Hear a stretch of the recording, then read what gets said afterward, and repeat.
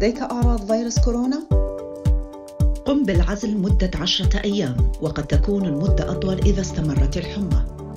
اطلب فحص اختبار من nhsinform.scot القيام بفحص اختبار في أقرب وقت. سيتم إبلاغك بالنتيجة خلال 48 ساعة.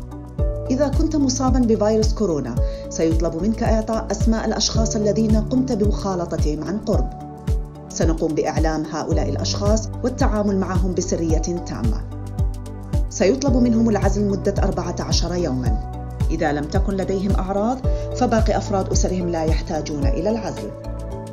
إذا ظهرت عليهم الأعراض يجب فورا طلب اختبار فحص من nhsinform.scot إذا احتجت إلى مساعدة ودعم حول العزل الذاتي اذهب إلى موقع nhsinform.scot